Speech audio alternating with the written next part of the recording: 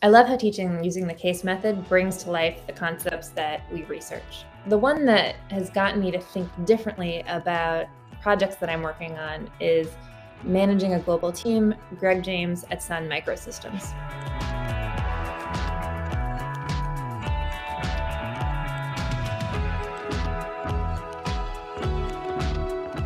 Linda Hill's recent case on Borunda Prince at Comcast reminds us that reinvention not only requires leaders who understand how to bridge old and new technologies, but the fundamental purpose of how you bring individuals together. And there's no better person in my mind than Borunda for making those divides seem less intimidating.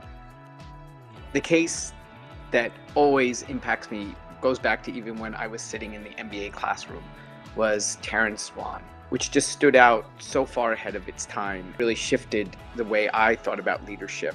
The Amazon case, but um, actually, in particular, the Amazon case discussions have been just uh, tremendous. Uh, every time I teach the case, I learn new things, and uh, this case actually raised a number of um, uh, research questions that I am uh, currently pursuing.